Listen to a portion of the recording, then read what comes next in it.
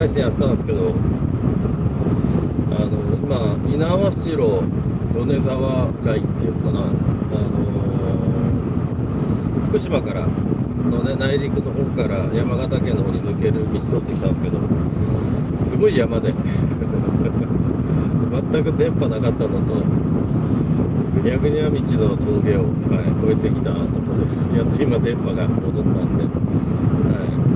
改めて今山形県の米沢だと思いますここ。はいここからまた、はい、青森県五所川原市に、はい、帰りたいと思います。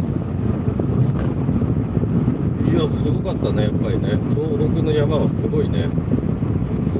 びっくりしたわ。途中猿もいましたね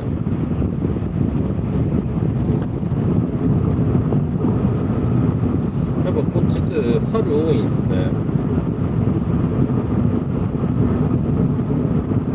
北海道の時って猿いなかった気するな。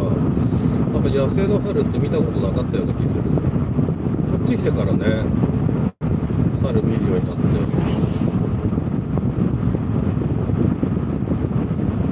青森県では猿見たことあるしね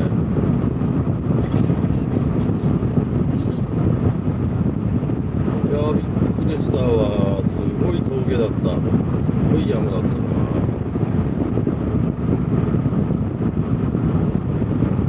僕ねあんまり運転得意じゃないんでやっぱね余裕ないっすよねあのすごいぐにゃぐにゃの峠を登って降りて、はい米沢市内こ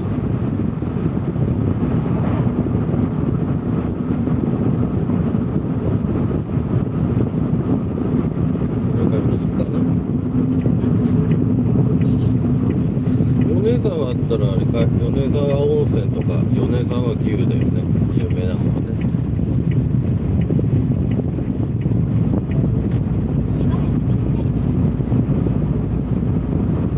米沢牛食べたことないね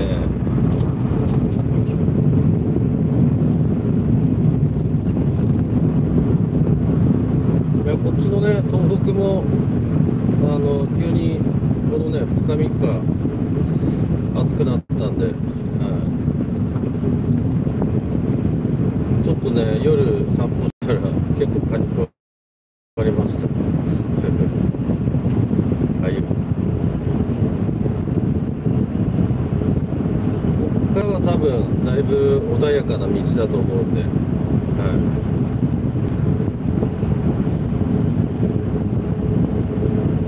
今日土曜日かな、ね、結構車通りがね多いよねやっぱ結構ねみんな出かけてるんだね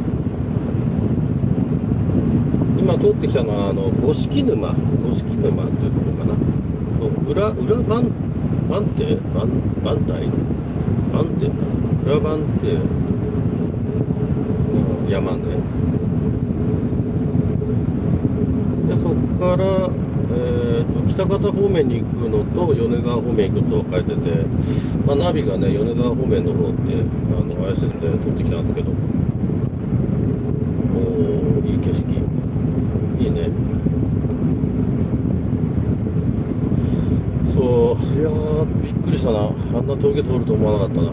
本当にねあのー今ライブ配信してるんであのーナビね、あの車の備え付けのナビ使って今、あの道案内やってもらってるんですけど、ね、そういう事情を考えてくれないからね、ナビってね。もっとなんか、これならね、新潟まで出て、ね、下に登ってった方が良かったし、郡山まで戻ってね、また4号線で上がってった方が良かったなと思って。いや、びっくりした。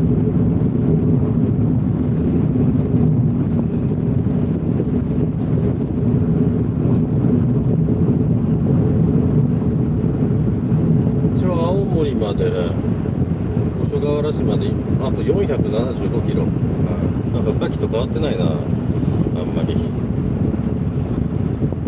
そうだからこのね山とか峠通るんだったらこの距離ってあんまり関係ないですよね。ねえ。本当に進まないですよね。山走ると。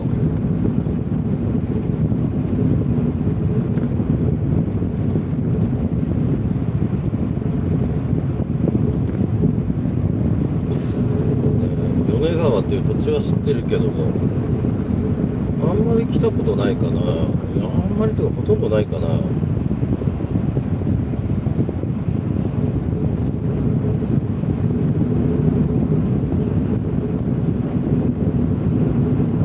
やっぱでも東北はね米どころだよね。あのー、やっぱ田んぼが多いですよね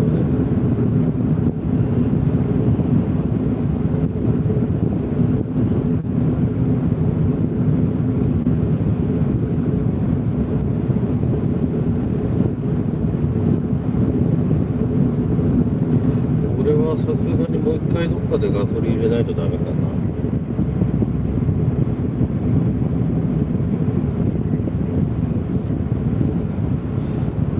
これはどうなのかな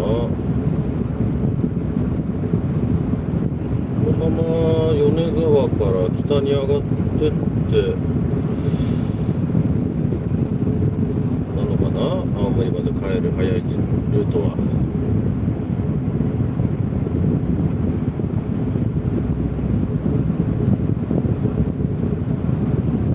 米沢行って山形市内行ってかな直江直江石亭だったな会社あれだよね上杉家ですね直江兼次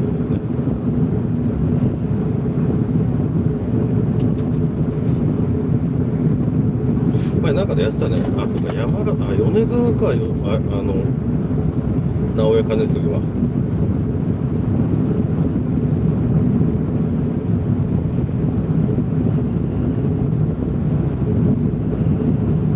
なんだっけ。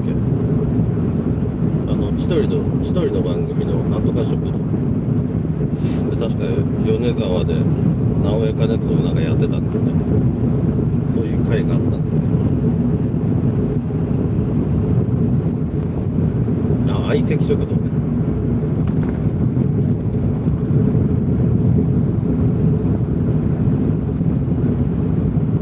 うんやっと平坦な道走れてちょっと安心。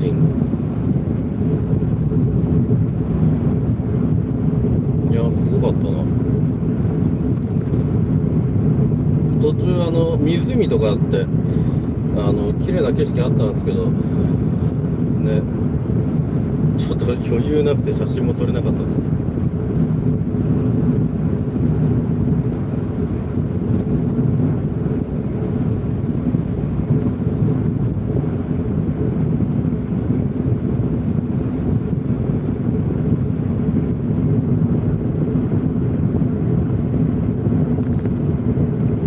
県道なんだね国道じゃないの県道2号線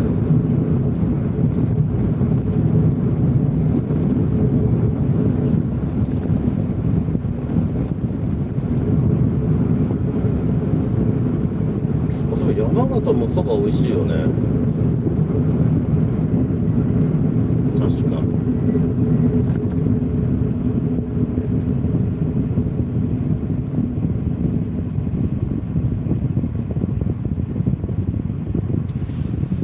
これはこれは今どこ走ってんのかな米沢市っていうのは分かってるんだけどね。通ったことない道なんで。自分でもどこ走ってるか分かってないんですけど。米沢市です。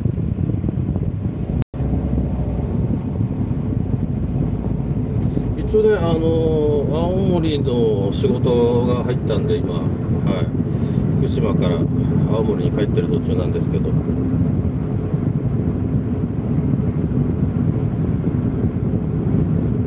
仕事自体はね明日の午後から作れば多分全然余裕で間に合うと思います。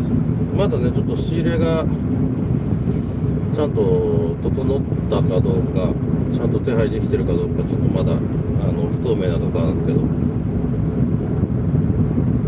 あのね花で波？海のね波と、えー山。あの表現してほしいっていう依頼なんで、まあ、そういうのを作る時にはあの菊代理の菊とスプレー菊とあとポギクのこの3種類がねメインで使うことになるんですけども。今回3件間口3件ね、まあ、横幅、まあ、1件180センチなんで約幅が約5メーター40センチ。で高さが、えー、3段。まあ1段1段の高さは、えー、大体30センチなんで3段なんで90ともともと立ち上がりのなんでまあ1メーターか1メーター20なんで、まあ、2メーターか3メーター3メーターまでいかないかな。2メーターぐらいの高さか。な幅が、えー、5メーター40の高さが2メーターぐらいかなはい700メートル先左方向です踏切がありますご注意くださいこのコースで行ったら本当だったらねあの多分山形市も通るんで前回ね新潟あの長野県か長野県まで行った時に寄った花千家さんの山形市の新しい店舗ねちょっと寄りたいんですけどねそれよりも明日の仕事がちょっと心配なんでちょっと今回寄れないかな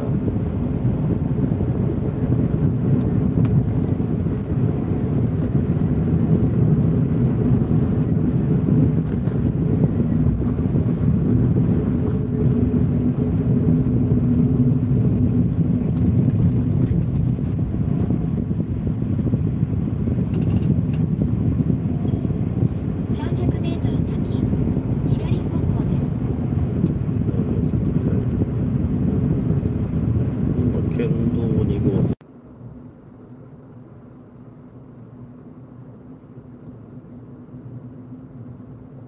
あれかなこれっぽいねえ左行ったら会津若松って書いてまもなく左方向ですあるうん本当に会津若松行ったら戻っちゃうんじゃないのこれ。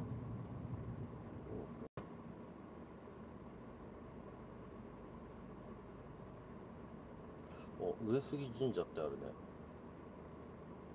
上杉謙信の上杉かな上杉神社こ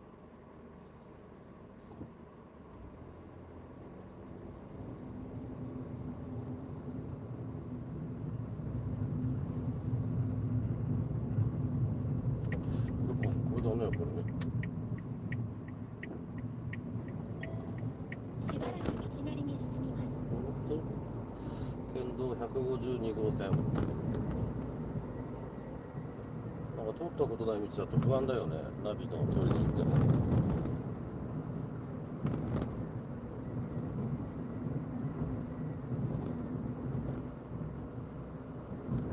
まだ青森県まで五所川五所川原まで469キロあります。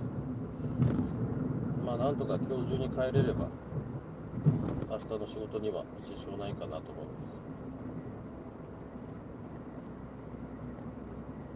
あでも今回の旅は、えー、と今日で4日目かな？4日目なんですけど、まあ、前回ね長野県行った時よりも全然走ってないです。走行距離は。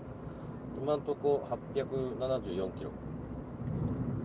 はい、これで五所川原、まあ、あと500キロぐらい走ったとしても1300キロですもんね、まあ、普通の人からしたら1300キロって結構長い距離だと思いますけどね。おスーパーマルホンカーボーイ。そう山形はマルホンだよねやっぱね。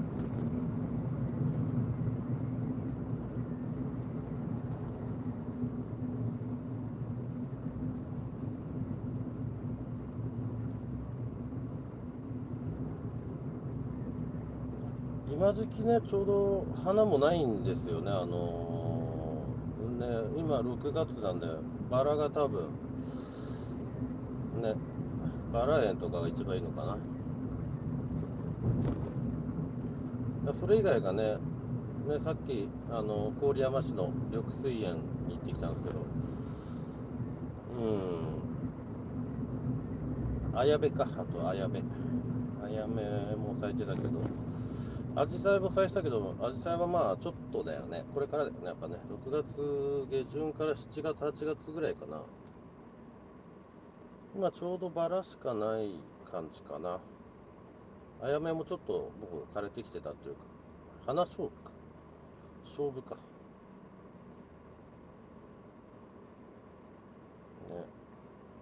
どっちかったらねもうちょっとと7月8月かななった方がいろんな花ね。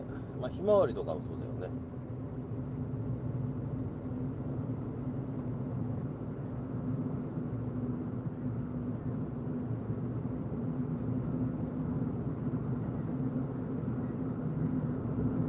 今これは山形県の米沢市走ってます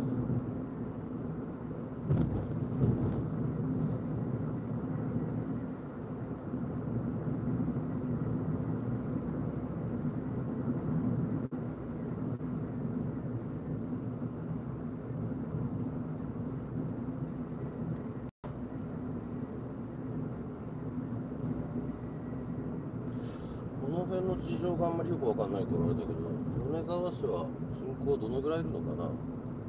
結構なんか大きそうな町だけど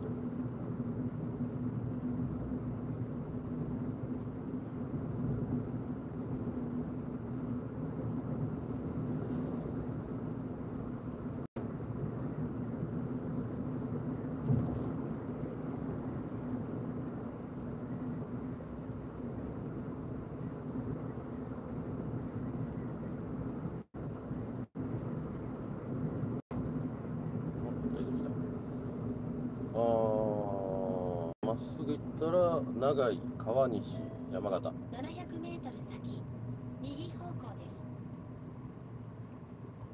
あれだよね川西行ったらあのー僕が2年前行った川西ダリア園がある川西と川西町だよね。その川西ダリア園っていうのもあのすごい綺麗なとこでよかったよダリアの種類がめちゃくちゃ多いんですよね。何月かなダリアは。9月9月10月ぐらいかな。すごい良かったですね。おと2年前か。2年前の川西ダリア園のフォトコンテストで、あのー最優秀賞いただいて、あのー次の年のねあの無料パスもらったんですけど結局ねあのコロナもあったんで行けなかったんですよね。去年は。はい、せっかくいただいたパス無料パスを無駄にしてしまったんですよ。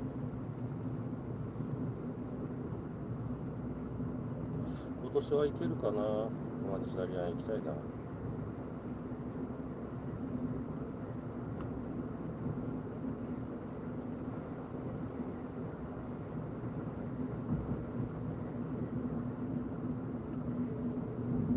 ああ帰った川西ダリアン300メートル先右方向です。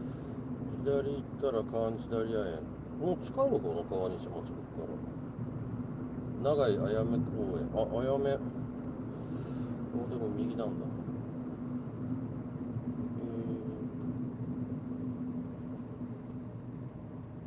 近いんですね多分川西とか。どっちかったら山形でも県南の方なのかない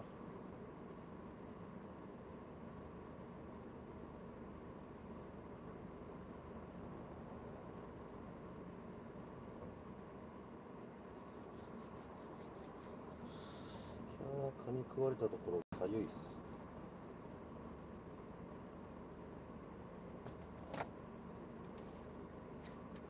今日やっぱ土曜日だからみんな結構外出てるなだね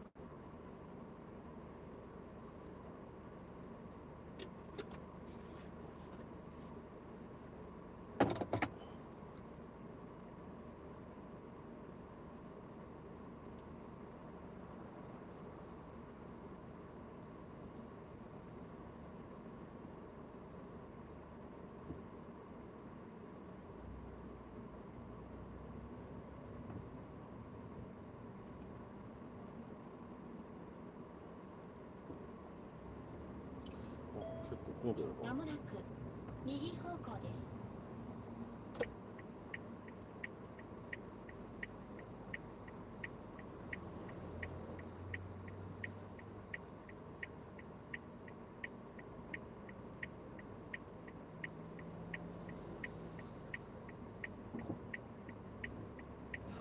ここにもニトリがあるね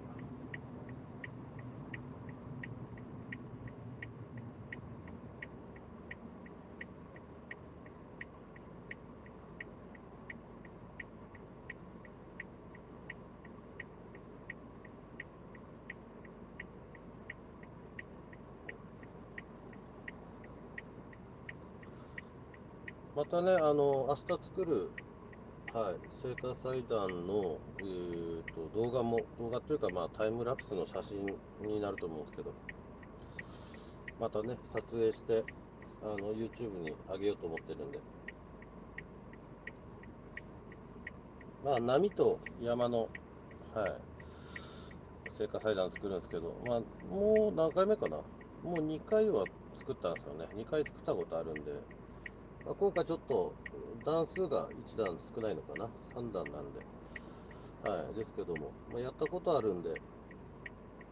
まあそんな不安はないんですけどね。あとはバランスをねうまく取れるかがポイントになってくると思います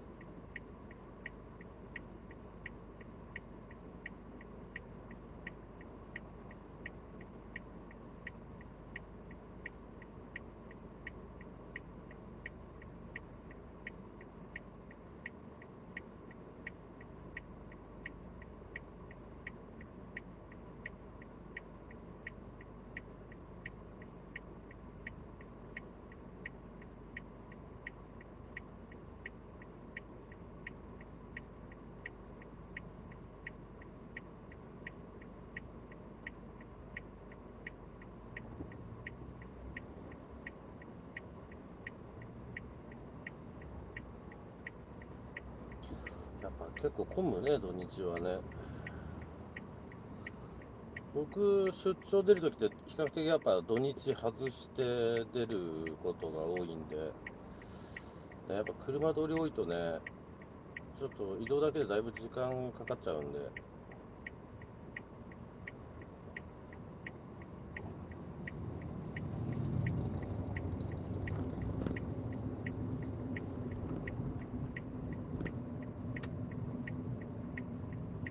あすごいね物量多いっすね米さんは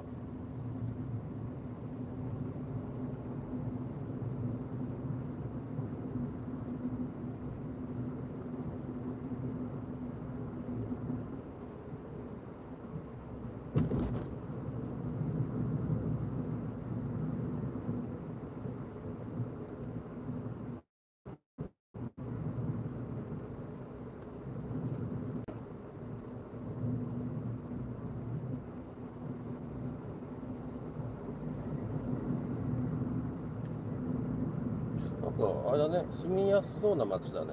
米沢ってね。なんかいっぱいあるね。何でもあるね。結構な人口いるんだろうねきっとね。うん？うん？ガソリン今181円って書いてなかった？そんな高い？山形は高いか700メートル先左方向ですさっきあのー福島県の猪苗代湖。はい。猪苗代湖であのーガソリンもうなかったんで入れたんですけど170円でしたね。170円でも高いと思ったんですけどね、まあ、探せばねもうちょっと安いとこあったんですけどまあ全然ガソリン入ってなかったんで不安で入れちゃったんですけど。今181円とかですよどんだけ上がるんだろうね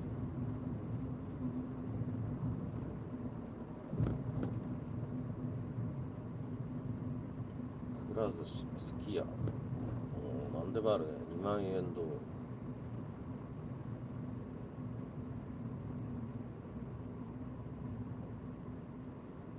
東方銀行すき家あ？なんかここのすき家来たことある気がするな。34年ぐらい前。にあれ？なんかあ違うかな。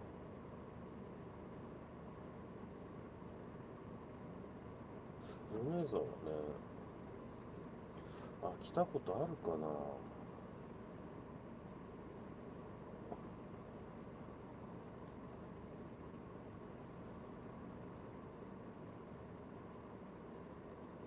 なんか全部ナビに頼ってね走ってると全然道覚えないんですよね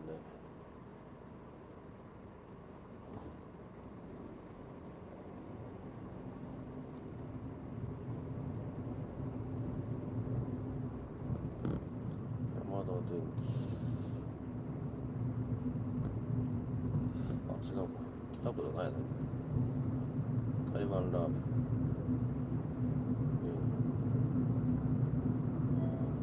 300メートル先左方向ですあ、米田コーヒーもあるんだね。米田コーヒーってそういえば、いまだに一回も行ったことないかも。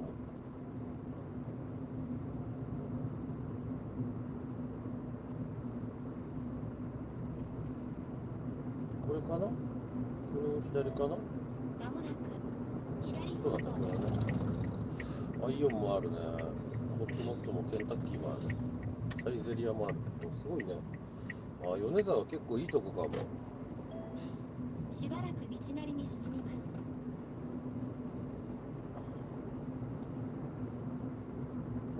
国道121号線に入りました今。あすごいね。ケーズ電機もあるし結構充実してるね。米沢市はね。う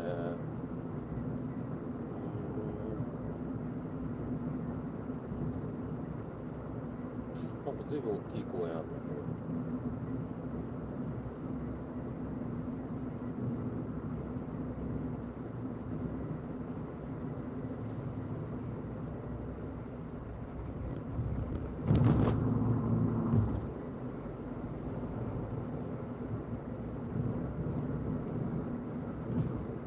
おサッカーの試合やってる。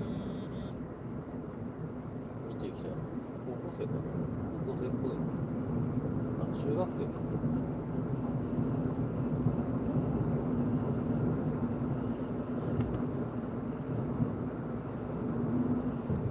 いやこの間もちょっと連絡来ててあの僕高校時代まあ小学校中学校高校ってずっとサッカーやってたんですけど高校のねサッカー部の OB 会の役員なんですよ一応。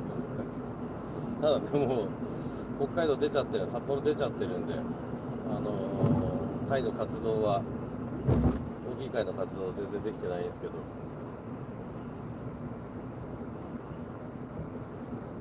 今強いのかな？今僕いた高校は名前変わってね。はい。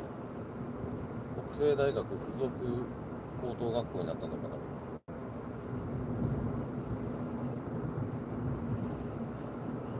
だね。あの監督がすごいいい監督で、はい、すごい熱心な監督なんですよね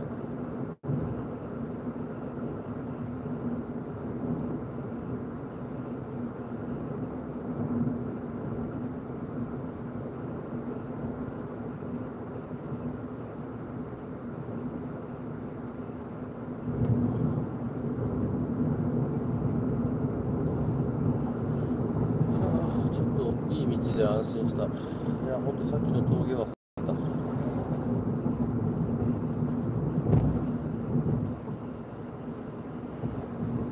一応さっき言ってたその峠ねあの電波なかったんでライブ配信できなかったんですけど。一応動画は撮っとき撮っといたんでもしかしたら、はい、後日その険しい山を峠道に乗せるかもしれないです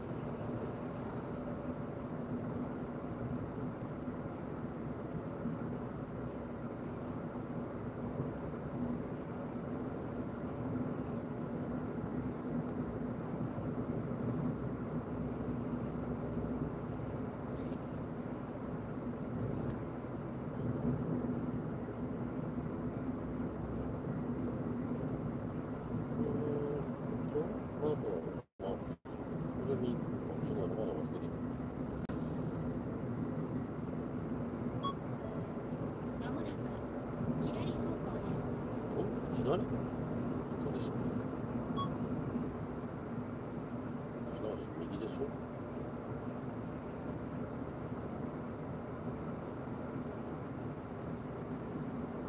あ、俺が間違ったのかもしれない。左行った川西、右行ったら国道13。13号線だよね右だねこれナビが教えてくれないの機嫌悪くなったかな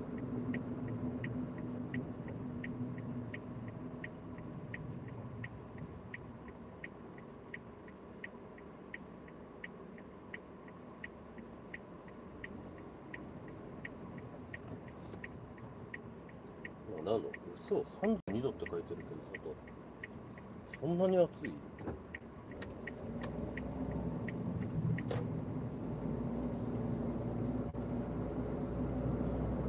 ？32度もないよねさすがにねきっとこれで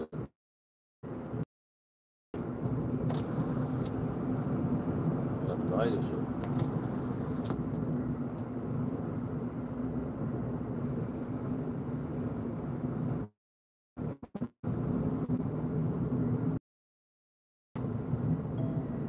700メートル先左方向です国道13号線だね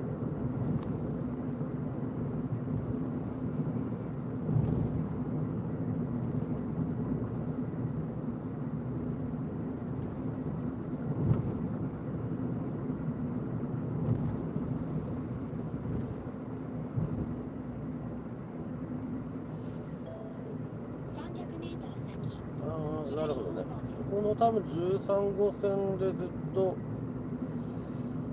北に上がっていけばいいんだよね多分ね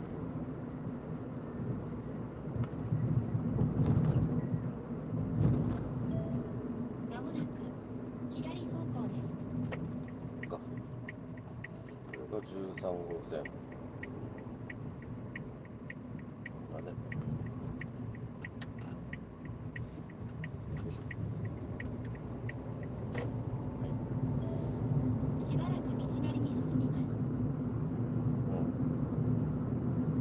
まあ多分これまあずっと多分このまま秋田までこの道だと思うな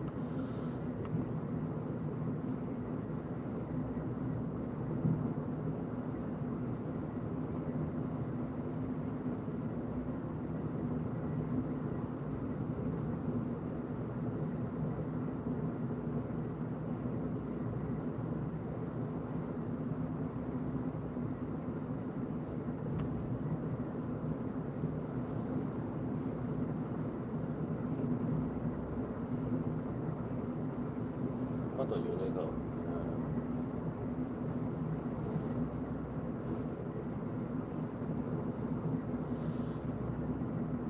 米沢牛食べてみたいけどあるかな。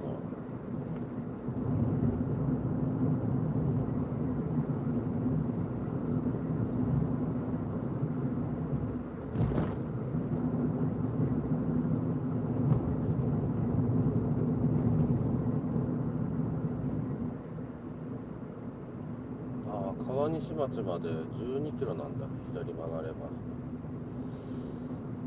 この時期はまだダリアは咲いてないからね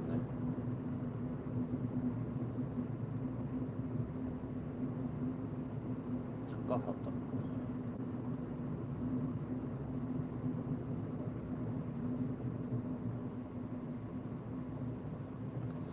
なんか覚えがあるようなないような気がするなこの辺の通りは3号線を走ったことあるような気するな。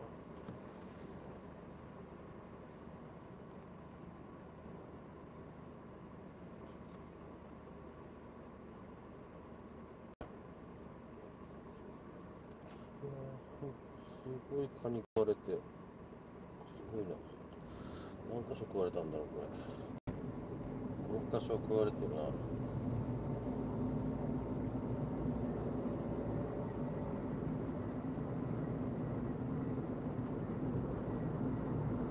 ああそうだね。ここら辺は通ったことあるかな。ほんとあとはひたすら北に登っていく感じですね。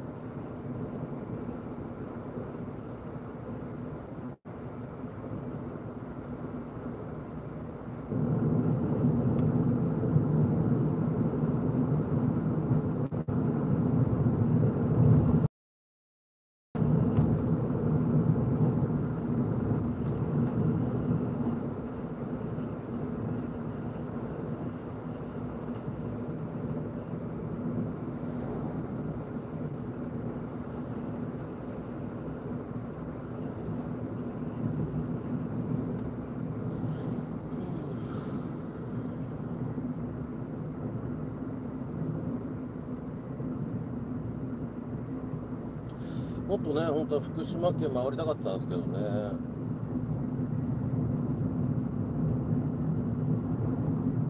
あのまあ福島市の方はね何回も行ってるんですけどいわき市とかあっちの海岸の方ってあんま行ったことなくていわきも多分1回しかないかな行ったこと。でねあのイベントに来てくれた花屋さんとか伺っただけなんで本当他は寄り道なんもしなかったんで全然街中とか行ってないですよね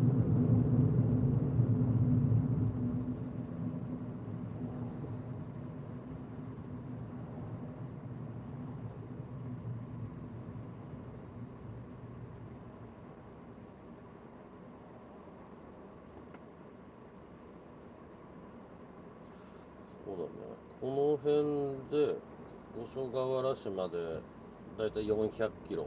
だから五所川原からいつも新潟行くときにだいたいそのぐらいなんですよね。390何キロ。だいたい400キロぐらいなんですよ。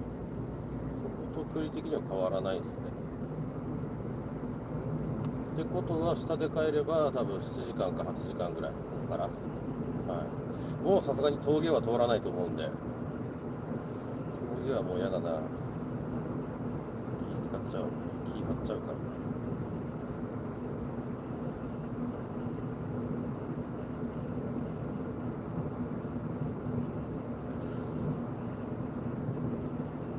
いやーどうしようかな新庄で花満に寄りたいなと思うんだけど社長に会いたいなと思うんですけどね。時間ないかな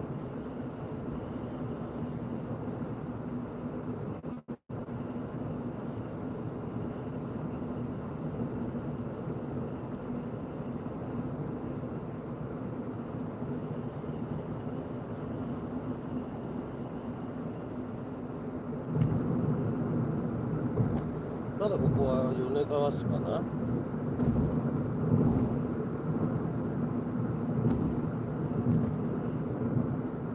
これから多分まっすぐ、えー13号線を北に登っていけば山形市がですね。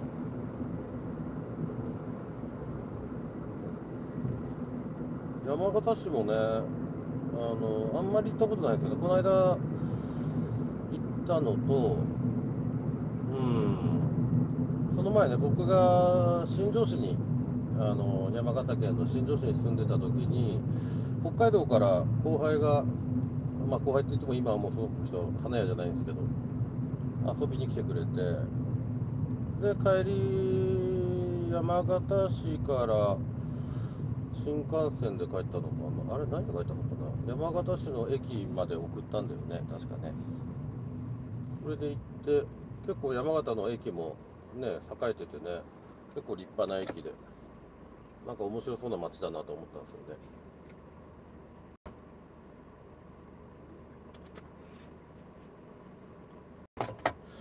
本当ああれなんです僕旅出ることは結構多いんですけど寄り道しないんですよね。余計なとこ行かないんで意外となんか観光してないんですよね。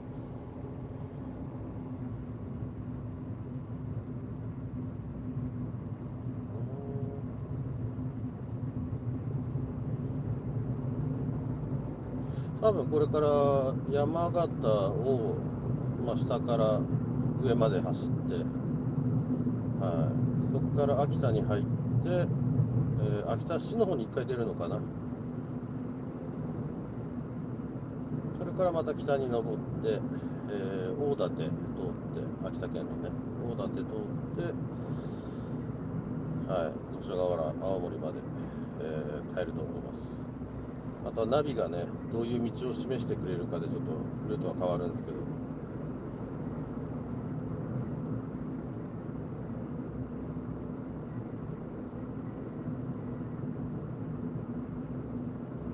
なんか山形でもし住んでる方いてなんか美味しい食べ物とか名物あれば教えていただければ。食べて帰るかな。秋田かね。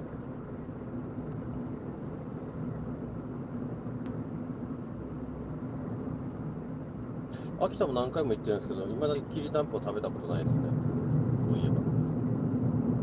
美味しいのかな。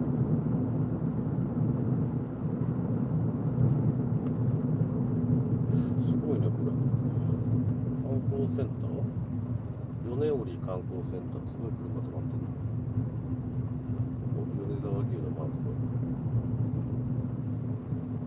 がとわりそば米沢牛ステーキ名物牛釜飯という鷹山亭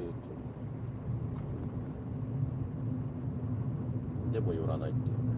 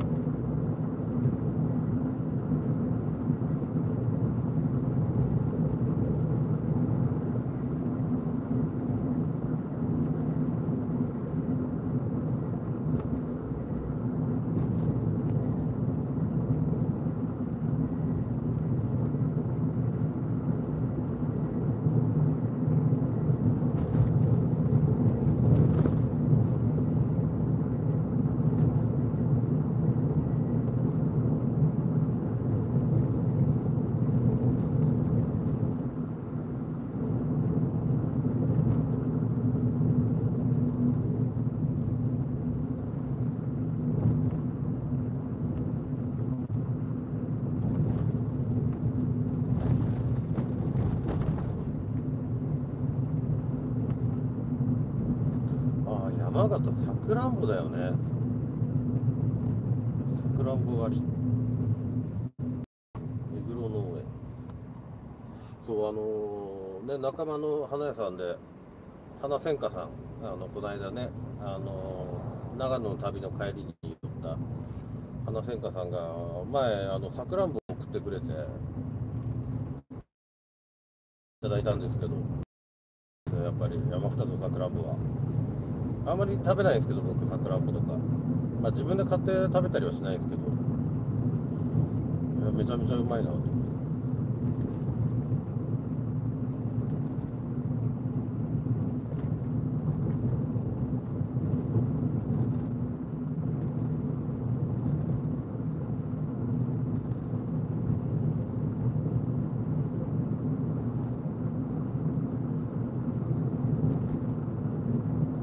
そういえば昨日地震ありましたよね。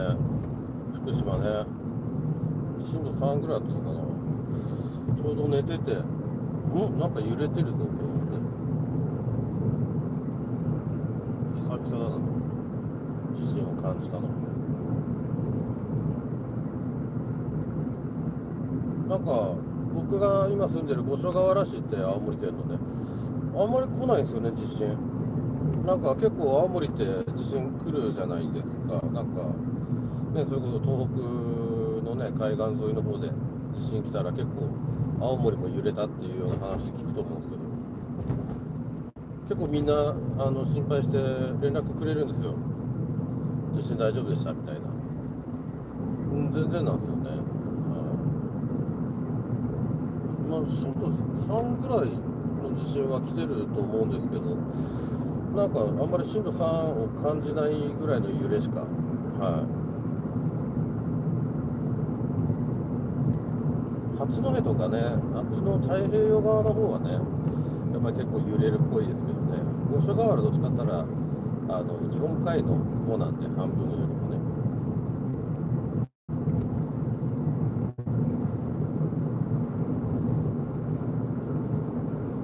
あの近所のね、あの近所に住んでる方に、まあ、この間ね、あのちょっとと立ち話してたんですけど、やっぱり、あんまり大きい地震の記憶がそこまでないって言ってましたもんね、五所川原の人ね。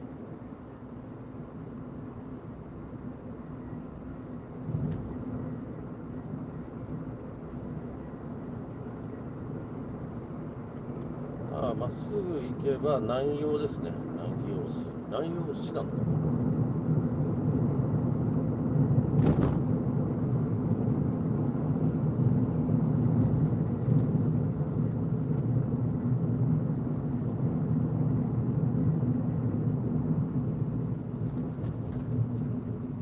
な米沢いいいとこでしたね。寄り道したかったんですけどねここは高速も通ってるんですね。結構ねやっぱりあのーていうんですか日本海側から来るとまあ日本海側やまあ日本海側も山形なんですけどあとその太平洋側から、はい、宮城とか、はい、そっちくのもやっぱね山越えてこなきゃなんないんですよね山形って。それが結構大変かもしれないですね。来ちゃえばね山形入っちゃえばそんなにすごい山ねあるわけじゃないんですけどずっとこう山形県のあの縦のラインっていうんですか南から北に上がっていくところは意外と道路は整ってて、ま、走りやすいですよね高速も走ってるし。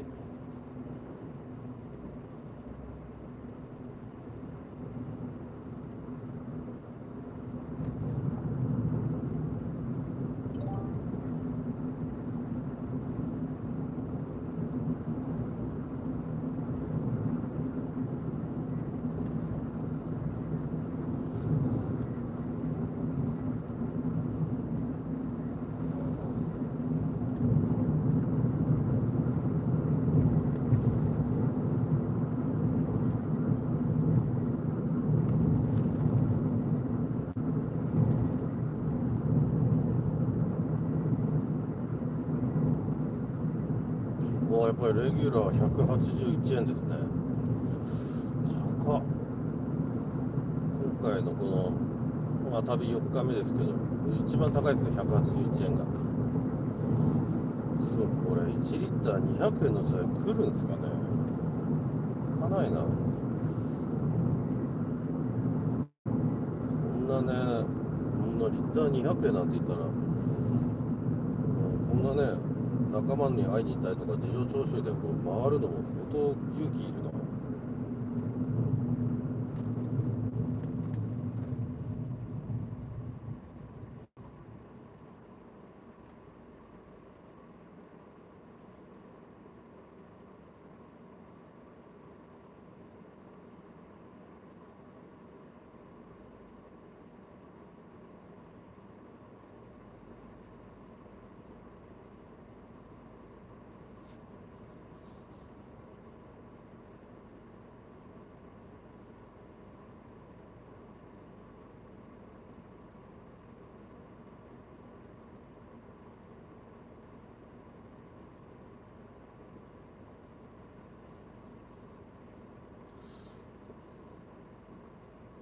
もう少しで南陽かなもう南陽に入ったのかな？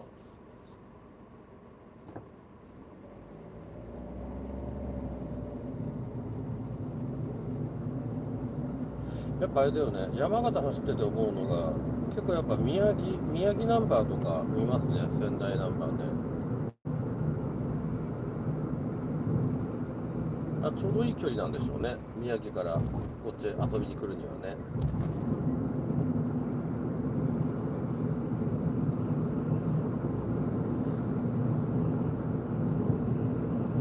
お米沢牛焼肉食べたいね虎ノ門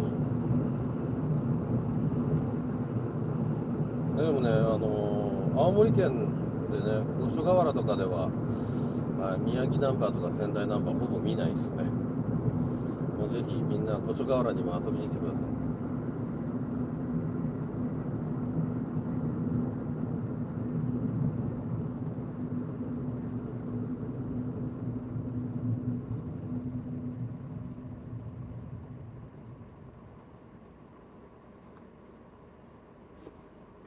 五所川原って名物ってなんだろうね。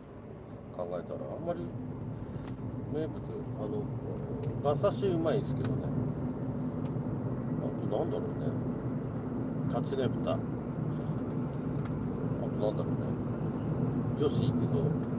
かな。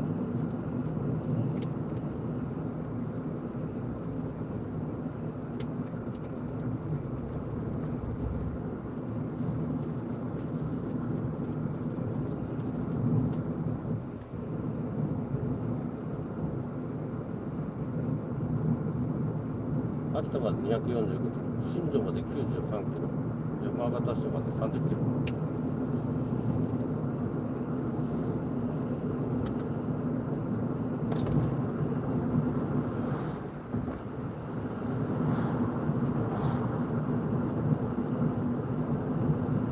そういえば今回の、ね、青森での仕事の仕入れがうまくいったのかどうか連絡来てないんだよな。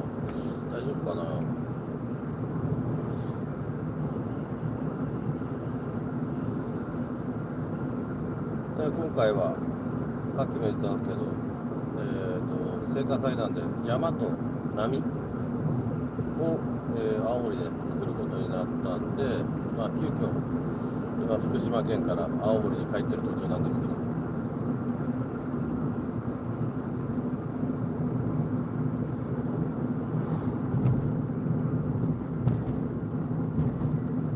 最悪ね仕入れがうまくいかなかったんだったら連絡もらえるとね。あのーまだ途中仲間の花屋があるんで寄ってねちょっと分けてもらうっていうこともできるんでね。今のうちに連絡来るといいんですけどね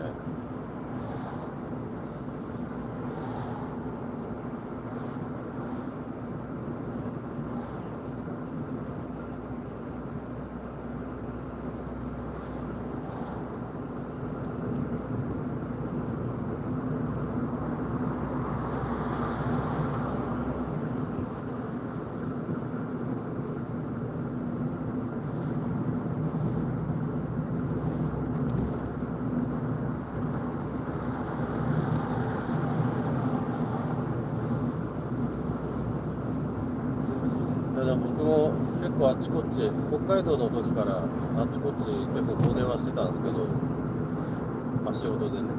あの本当飛ばさなくなりましたね車は。はい飛ばしてる一つもないですもんね。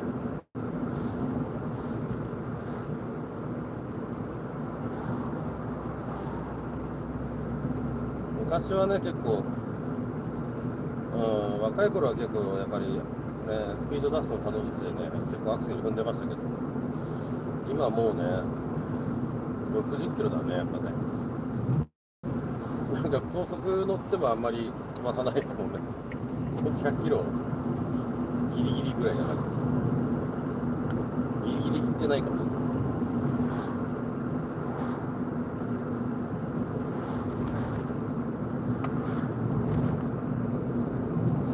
です。急ぐ急ぐっていうかね慌てていいこと一つもないですよね本当に。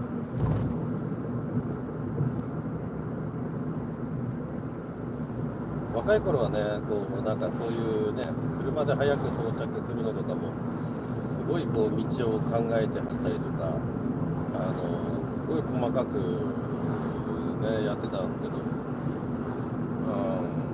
んねまあ花作ってる時もね早く早くみたいな早く体を動かすみたいな時やってたんですけど、うん、まあもうね、やっぱ40過ぎると、ね、まあ、体早く動かせば動かすほど、やっぱそれだけ、ね、ダメージも大きくなるし、はいやっぱ効率の方がね、無駄を省くというかね、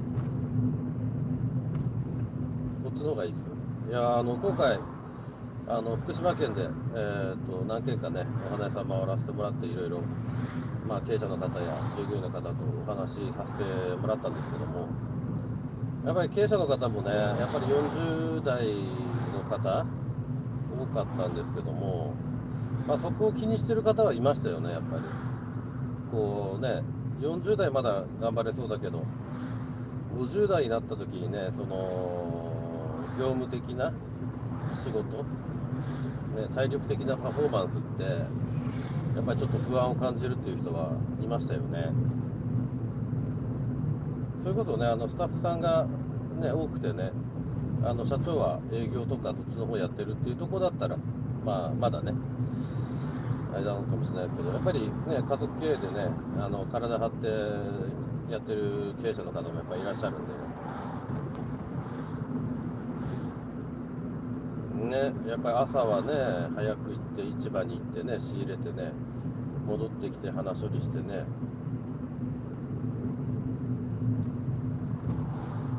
それからね製菓サイダー作ったりアレンジ作ったり花束作ったり。でねやっぱ配達行ったりもするんでまあ大変ですよね本当に。全部やるってなるとね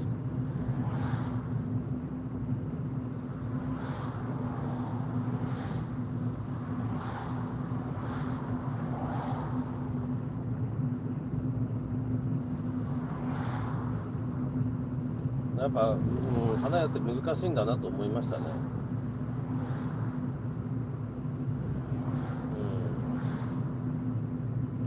うん、ねいくらあの仕事があっても花の仕入れでミスると利益出ないんですよ。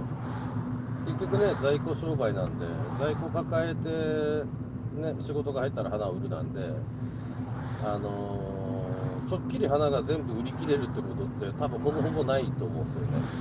はい、ね売れなかったら売れなかった分、ね、仕入れ分がマイナスっていう計算になっちゃうんで、まあ、飲食店とかもそうですよね。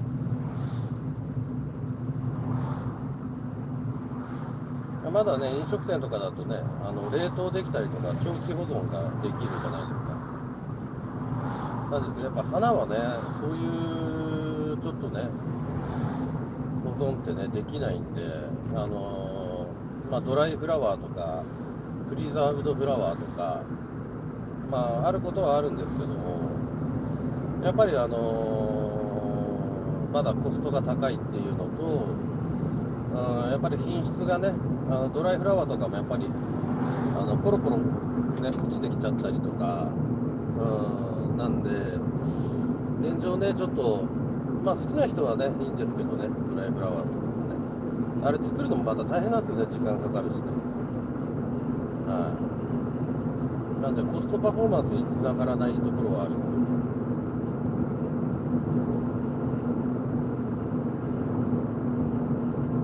いやね、そこが解消できるともうちょっとね、花屋の経営って、ね、ちょっと楽になるんですけどね。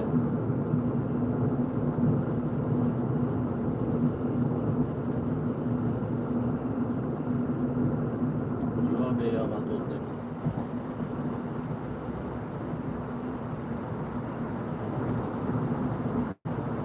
最近あれですよね怖いトンネルって減りましたよね昔は結構なんか通るだけでおっかないなっていうようなトンネル結構あったんですけどもう北海道の時代の時はね結構あったんですけど昔あのね同じ北海道であの余市余市だったかな？余市じゃないな。な豊豊浦じゃないな。豊浦？豊浦かな？どっかあのトンネルの崩落事故があったんですよね。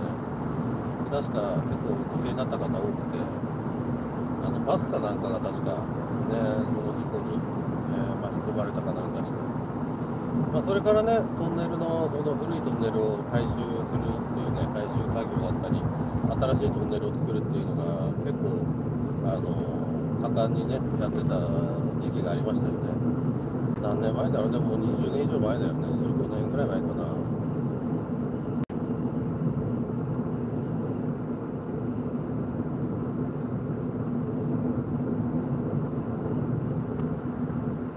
ね、やっぱりこう、ね、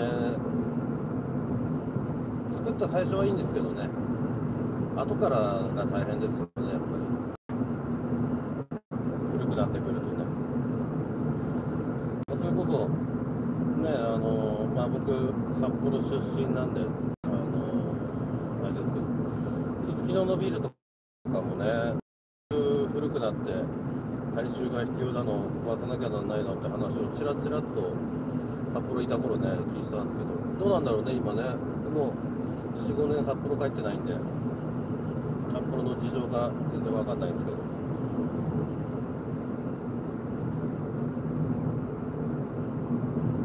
あれねすすきのみたいにあんなに密集してるところでねビルの解体作業するのも修復作業するのもあれはよっぽど大変だと思いますよね。眠らない街だしね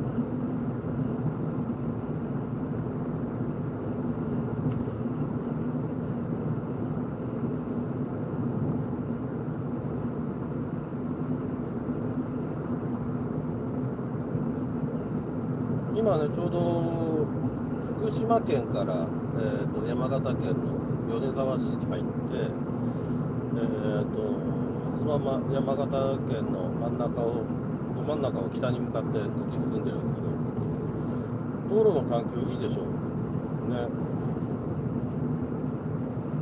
山形県入るまでは結構ね山間部が多いんであのーちょっとね苦労するところもあるのかもしれないですけど。まあ高速道路乗っちゃえば全然楽なんですけど。山形県入っちゃえばねこんな感じですごい走りやすいんですよ。ずっとこんな感じの道が、はい、ずっと北まで続いてるんで。で途中ねあのどこか忘れたけど無料高速もあるんですよね。はい。なんでそれに乗るとまた一層楽にあの山形県って横断できるようになってるんですよ。この真ん中の部分がね、はい、またね海岸沿いの方のね酒田とかあっちの方はまたちょっと違うまああっちも道は悪くないですけどね全然。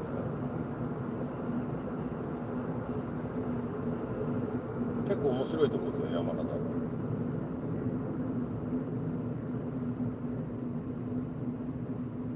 食べるもの美味しいし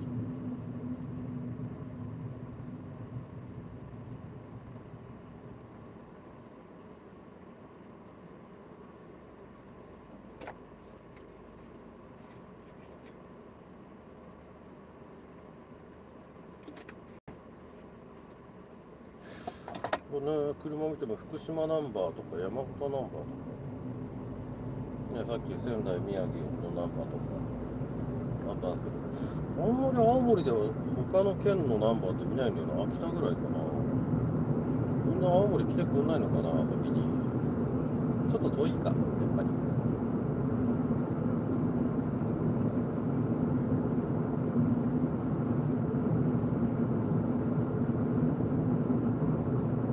ねいいとこなんで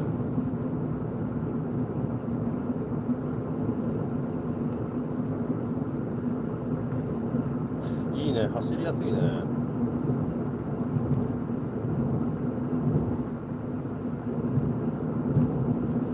そうだ山形県はやっぱ流通はいいんだね。この道路あったらいいよねやっぱね。全然違うよね。まあやっぱうん。青森県あまあうんそうだね。青森県ってやっぱりちょっとうん流通悪いのかなやっぱ道路あんま良くないのかな？まあ青森と青森市と五所川原市と弘前市は比較的近いんで距離的に。全部大体1時間かかんないぐらいで着くんですよね。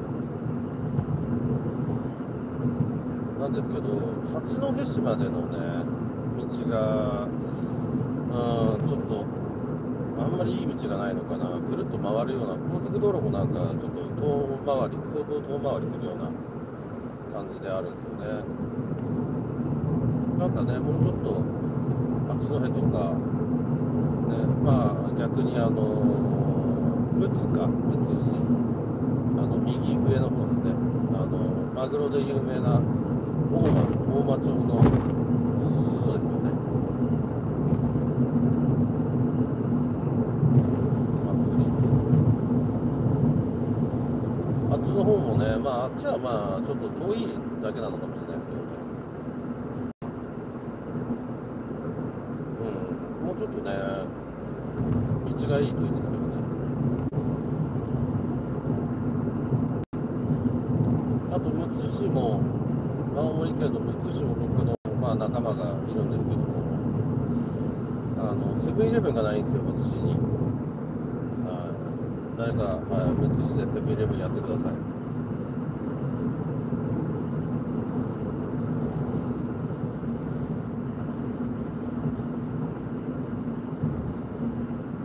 それかね北海道からセイコーマートが来てくれたら嬉しいんですけど。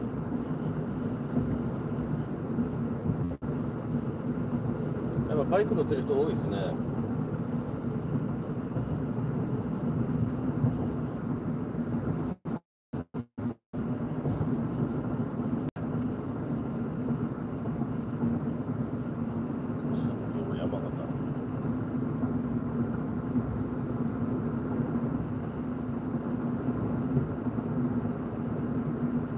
だからやっぱ道整ってるねいいよね走りやすくて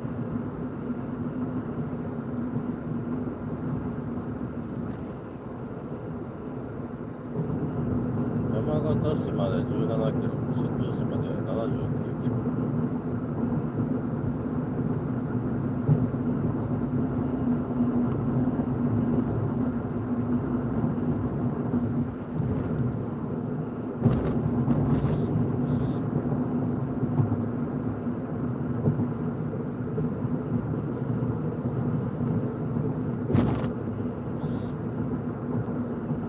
あ通ったねここ。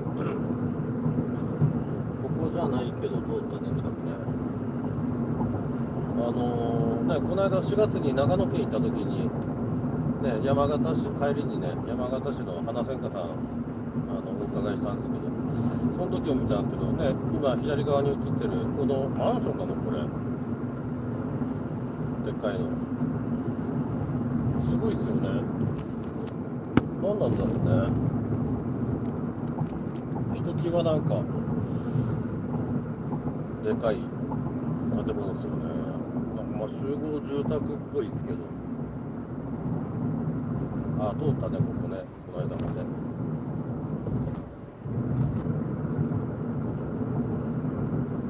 すごいよね。何世帯入ってんだろうね。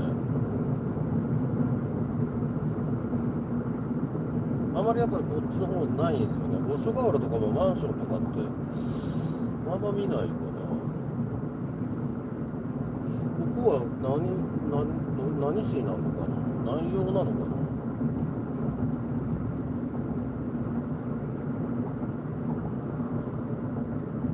ねちょっとねまあ人口数わかんないですけどなんか他にそんな高い建物ないんで。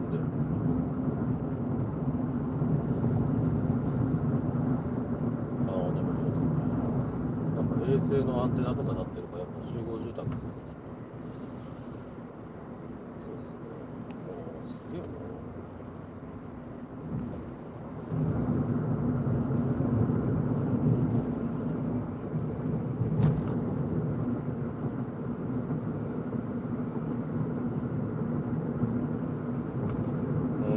ガソリンレギュラー172円。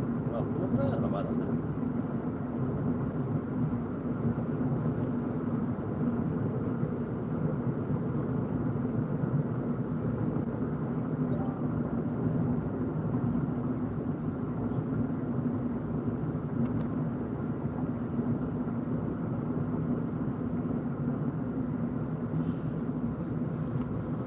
ちょっとねもう少したら後であの仕入れの状況ちょっと気になるんで車止めて連絡してみようかなと思います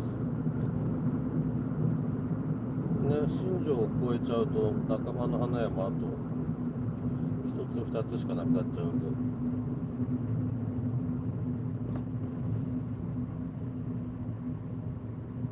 ああ通ったねここねこの間の時このローソン寄りましたね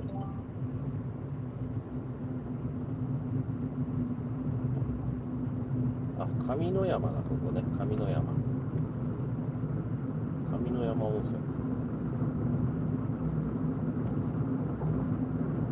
なんか山形県で聞いたのが山形県って全ての都市に温泉があるっていう話なんですよね、まあ、確かに全部温泉ありましたね。米沢温泉もそうだしここの上野山も上野山温泉あるしうん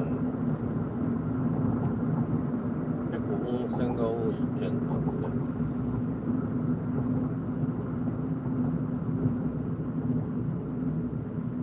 7ヶ月間住んでましたけど温泉1回も行ってないですけどね。好きなんですけど温泉。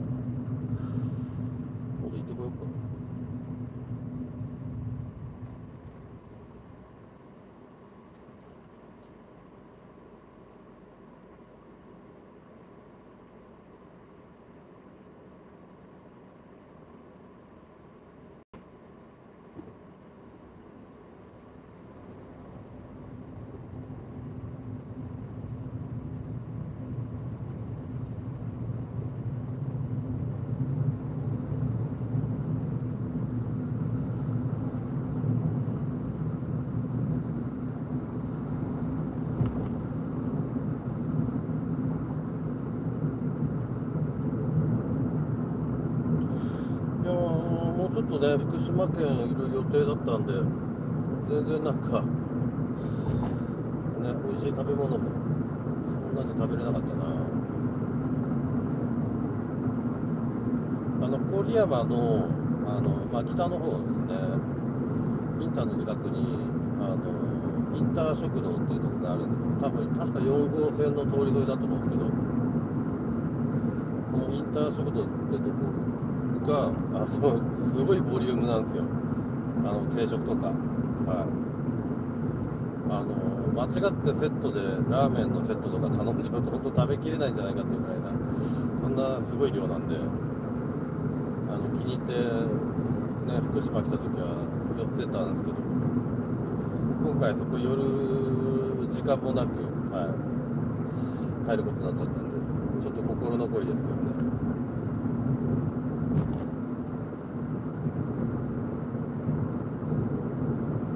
そうインター食堂ね。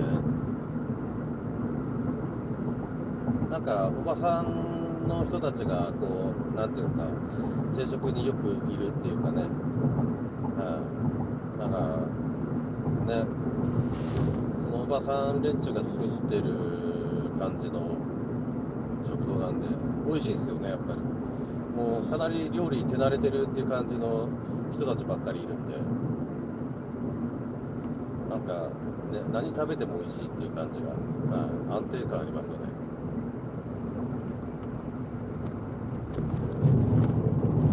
なんかそういう食堂も減りましたもんね昔に比べるとね。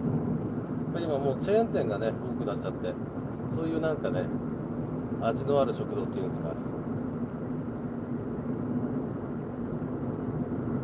減っちゃいましたもんね昔に比べると。まあ好きなんですよねそういうなんかね定番メニューっていうかね当たり前のものしか置いてないんだけどどれ頼んでも美味しいっていうそういう食堂ってなかなかないですあったら俺多分五所川原でも結構行ってると思うんですけど。うん。ないんですよね。なんかそれこそねタクシーの運転手とかが知ってそうな、はい、定食屋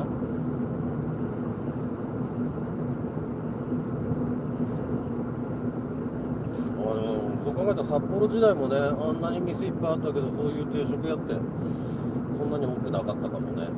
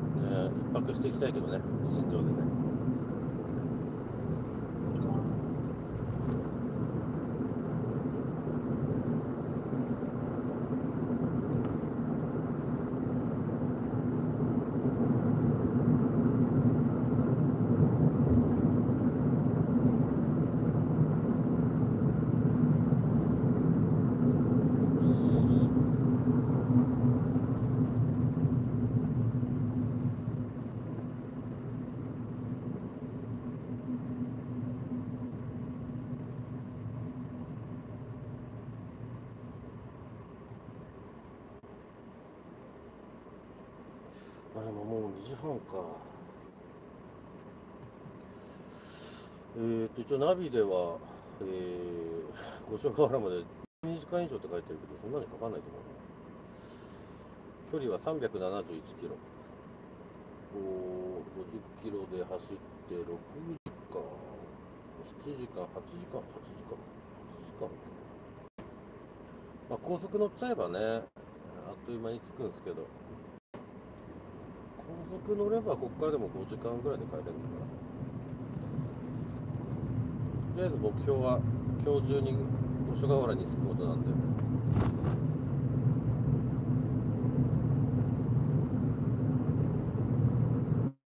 で明日の午後から多分聖火祭壇を作りに行こうと思ってます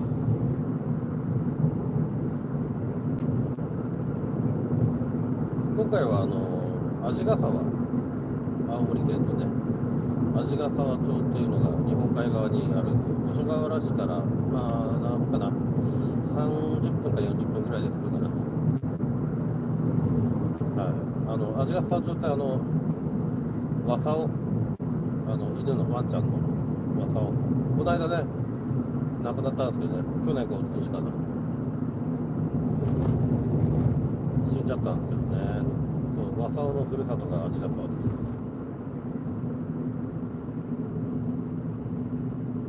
そこのねあのー葬儀屋さんの仕事を明日僕があのー聖火祭壇作りに行くんですけど。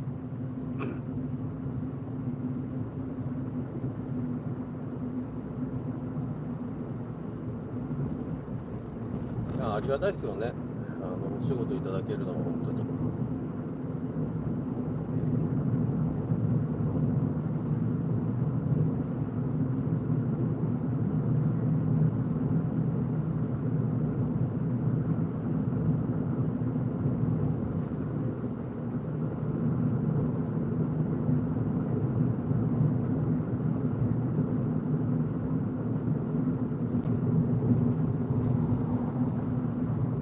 あ本当に腹減ってきたな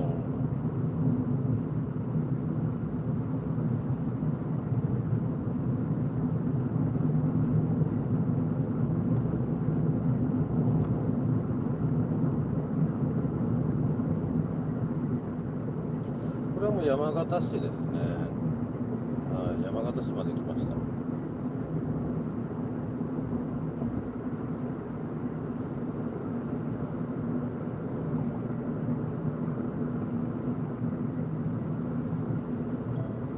10キロ以上先ルート上に渋滞がありうますん渋滞するんだ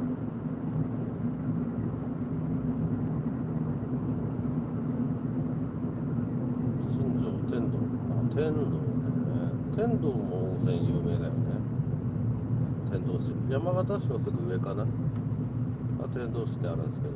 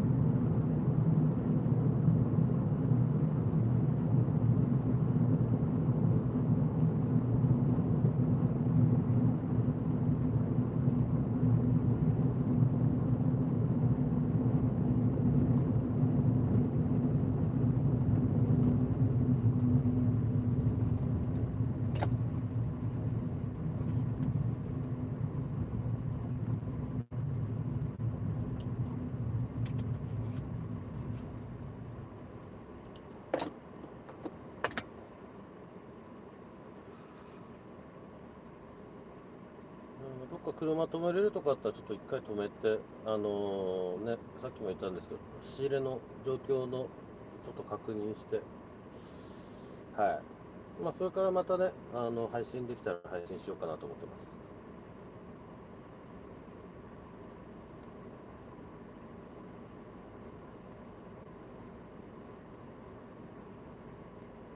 やっぱ出張出ると仕事入るもんなんですよね。前回もそうでしたよね。長野県行ってた時も、まあ仕事入っちゃって。まあその時はね、あの仲間の他のお花屋さんにね、あのお願いしたんですけど、はい。まあその人僕より上手なんで、あの全然問題はないと思うんですけど。まあ、今回ね、どうしてもね、あの波と山を作るんで、ちょっとやっぱ特殊なんですよね。まあ、その人も作れるんですけどね。ただ、その、お客様に見せたデザインが僕が作ったデザインっていうのもあるんで、そうですね、うん、戻った方がいいかなと思って今回は、はい、戻ってますけど。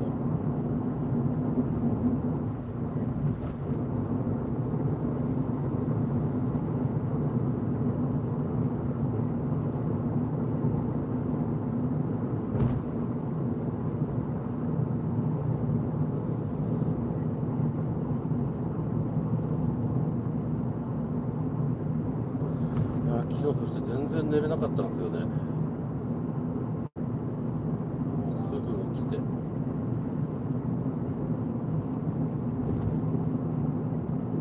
それもあって眠たいっすね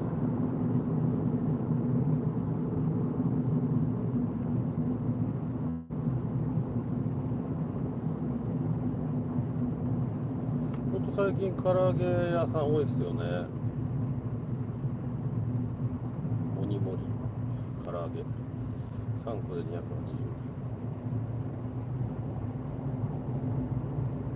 円ねなんで今更唐揚げなんですかね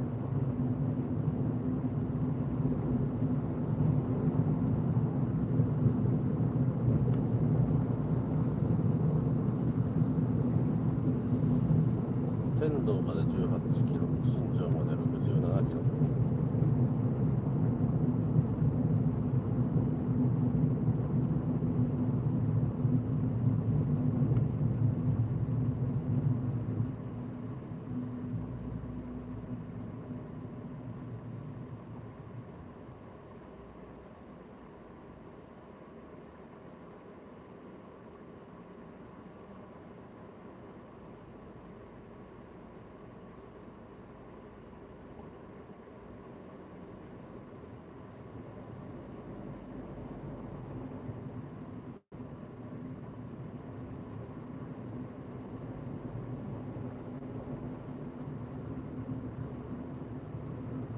お結構混んでるね。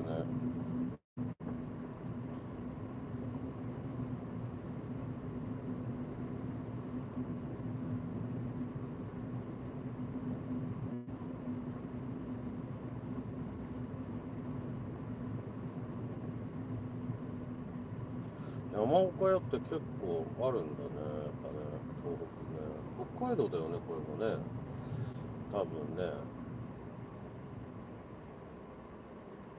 なんか長野県あたりから全然見ないかな山岡屋ななんだっけな。なんか似たような名前のラーメン屋さんのチェーン店ありますよね。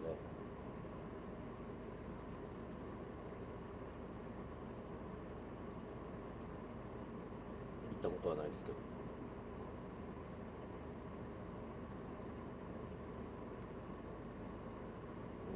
久しぶりに札幌ラーメン食べたいな。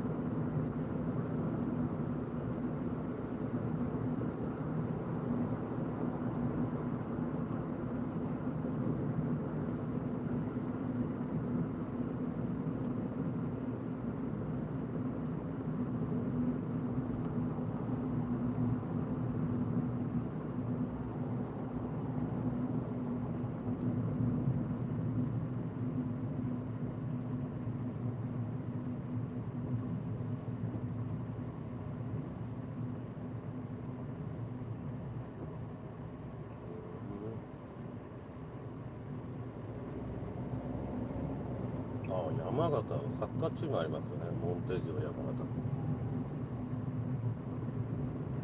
バンフォーレ甲府と6月18日。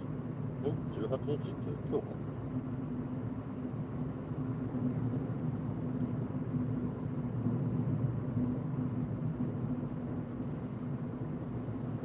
あれ？山形は今 J1 かな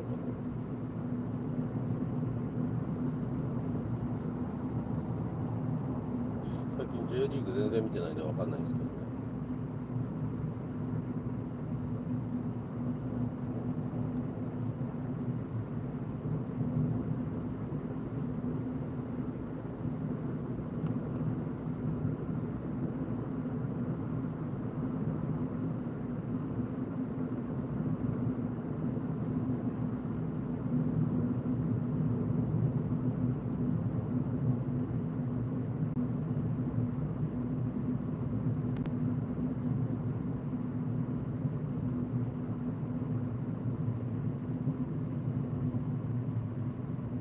まあそれこそサッカーはどうだろうね？J リーグねコンサドーレね。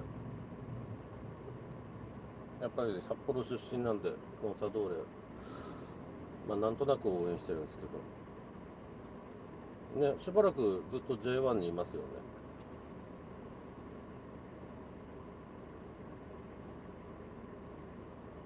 あと日ハムか。野球ね。あれ日ハムは新しいスタジアムできたのかな？ねその札幌の隣町の北広島市っていうところで今スタジアム作ってるのかあーなんかやってると思うんですけどね。まあそうなったらなったであのー今度札幌ドームがね大変なんですけどね。結構ねあのー2002年のサッカーワールドカップ日韓共催でやった時ありましたよね。あの時のねスタジアムがねあの負の遺産になっちゃってるっていう結構ねそういう地域もありましたよね。まあその中でもね札幌ドームはまあ日ハムのおかげでね結構あの潤ってたというかね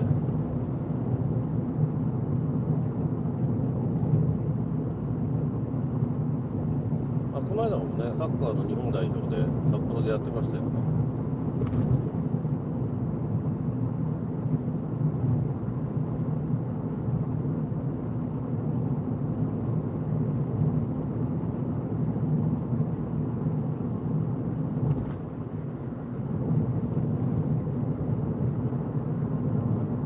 まあそのね日ハムが北北広島市札幌の隣町にねのスタジアム作るからもうすごい勢いで変わってるらしいですね。そのね道路の整備だったりホテルだったり。うん。北広のどの辺なのかっていうのはちょっと僕もわかんないですけど北広にはねやっぱりまあ隣町なんで結構あの行ったりはしてたんで。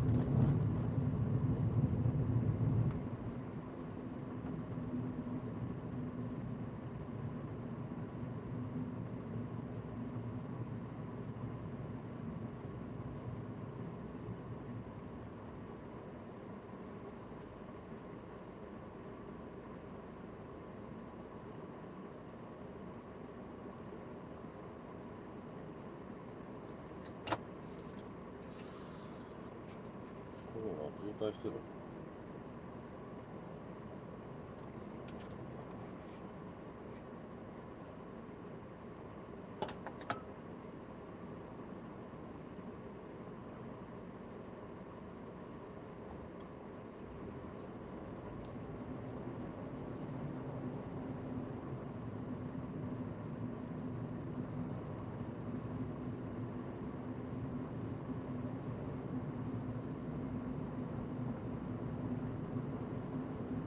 ね、あのー最初ね北海道からこっち出てきた時あのすごい思ったのが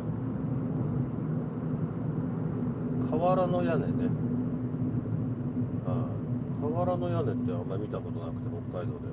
北海道であんまないよね。うん。すごい、うん、印象的でしたね。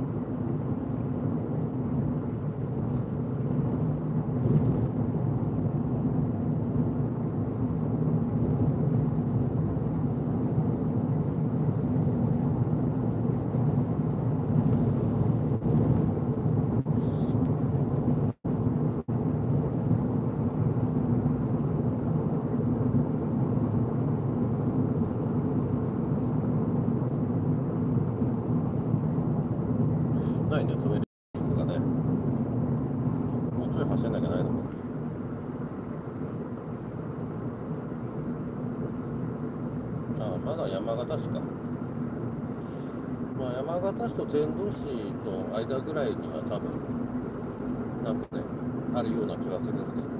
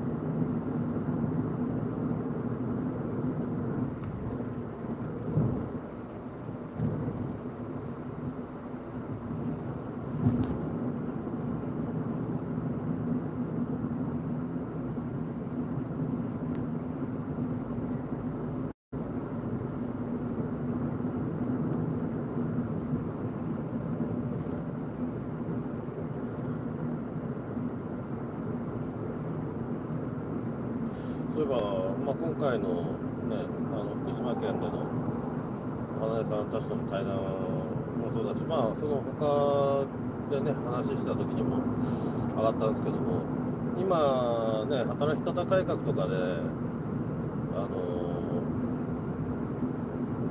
いやまあ残業代しっかりつけなきゃなんないっていうのは前からなんですけどねそのだいぶね労働のね環境ってうるさくなってきたじゃないですか。まあ働く側従業員からするとねまあいい環境になったのかなとは思うんですけども。あのまあ例えばまあ近い業界で言ったらまあ美容師の業界もそうだと思うんですけど結局やっぱりこう一人前になるまでって結構勉強したりね残業っていうか残ってね練習したりとかって当たり前にある業界なんですよね。うん。それがねなんかまあちょっとまあ聞いた話なんで本当かどうかわかんないですけどそのね従業員が残りたいから残ってあの練習するって言ってもやっぱりなんかこう残業代を払わなきゃいけないような感じにもなるみたいなことをちょっと聞いたんですけど。そうなっちゃうとね一人前なれないですよね正直。はい。日常業務でね残業するときはもちろん残業代ってあの出さなきゃなんないと思うんですけどなんか練習ってね多分ね練習の時間まで時給出してたらあのその人ができるようになってもあの給料上がんないし採算合わないと思いますよね。はい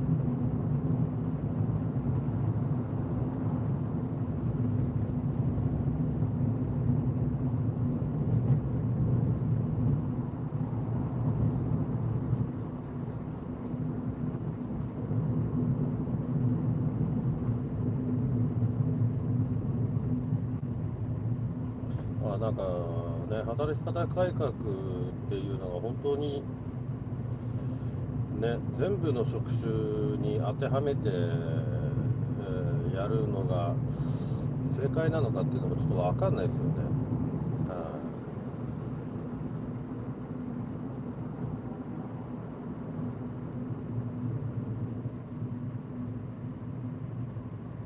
いうん、でまあこと成果裁断業界でいうとやっぱり20代が全然いないってみんな言いますね。はいおびっくりした。レギュラー175円。廃横が190円。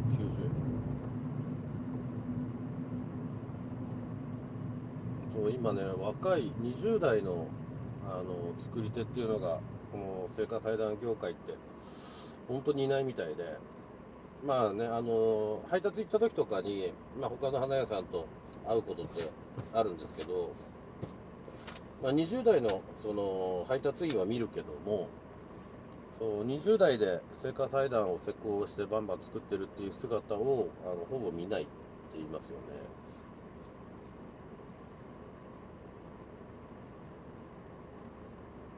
うんなんで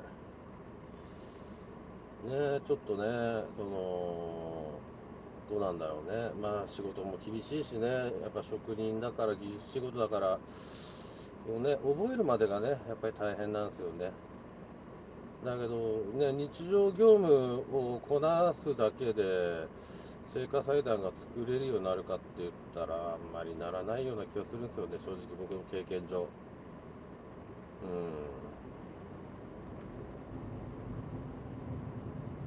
そして、まあ、またあのある程度大きいねその成果裁断業界の花屋さんももちろんあるんですけども、まあ、そういうところって教育システムっていうのがしっかりしてるんですよ比較的。うんやっぱり。でその教育システムがしっかりしてればしてるほどあの覚えても社員の給料の上がり幅が少ないっていうのもあるんですよ。そうですよねそりゃ。教育システムがしっかりしてるんでその分あの従業員もね働く側もあの効率よく技術って習得できると思うんですよ。ただそのねそこにやっぱり経費をかけてるわけじゃないですか企業も。でそこに経費をかけるってことはやっぱりそこにねあの人件費をかけれない。っていうねできるようになったからってポンポンポンポン給料簡単に上げれなくなっちゃうんですよね。まそうするとどうなるかっていうとねあの教育システムがしっかりしてる花屋さんに最初勤めてある程度技術身につけたらみんな辞めちゃうんですよね。辞めて他の花屋さん行っちゃうんですよ。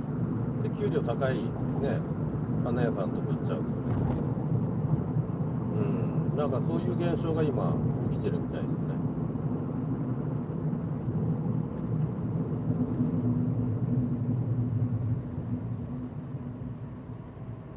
それもねちょっといいのか悪いのか分かんないですけどね。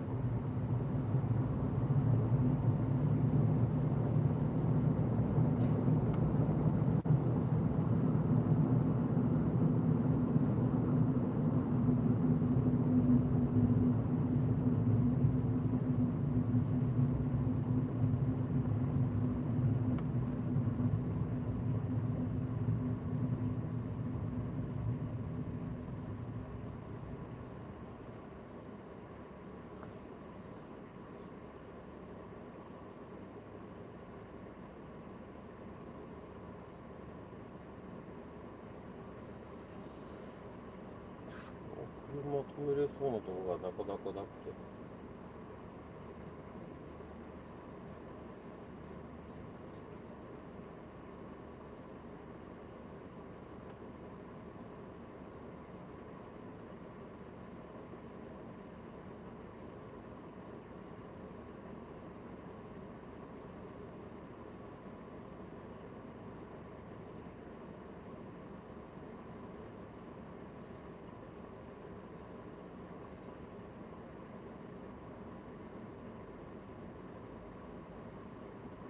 どっかコンビニでもあるといいんですけどこういう大きい通りってあんまりコンビニってないですよね。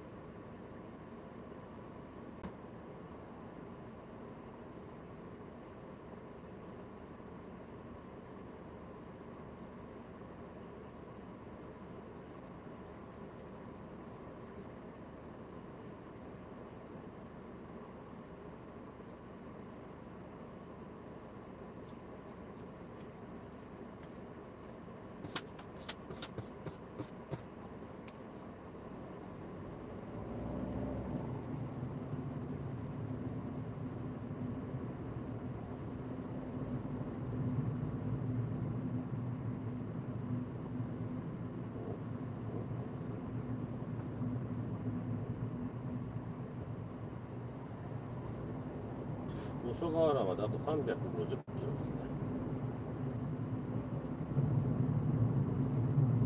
時間は何だろうどのぐらいなんだろうすごい渋滞してるな。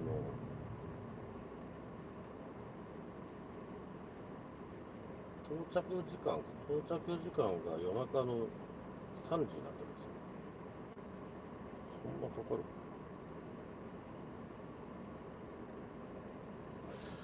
もう30だもんね考えたらね。